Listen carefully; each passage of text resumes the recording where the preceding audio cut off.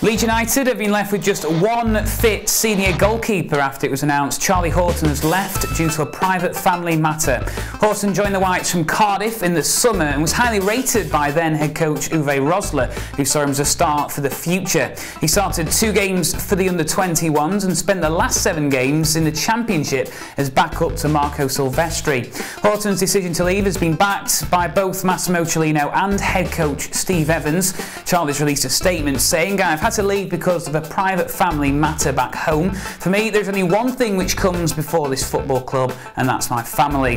That's the sole reason I'm going home. I ask people to respect my privacy while I handle it, as it is not a short term matter. I'm extremely grateful for the compassion and understanding I've received from Massimo Cellino and Steve Evans. They've been absolutely top drawer about it. I would like to thank all the fans as well for their amazing support and welcome they have shown me here.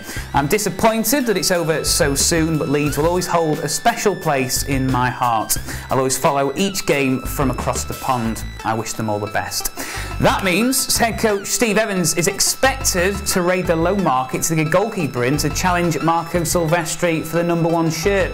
Who's it going to be? Well, West Brom's Anders Lindegaard is one man who's been linked in recent weeks, but knowing Steve Evans, there's like to be more that he's got his eye on.